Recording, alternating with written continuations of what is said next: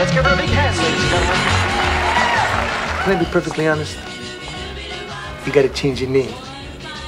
Edna Buxton, that's the worst name I've ever heard in my life. Where you from that would curse you with a name like that? This is the young lady who wrote your next hit. I want to introduce you all to Denise Wade. I mean, you're either a singer or a songwriter. Which is it? I'm both.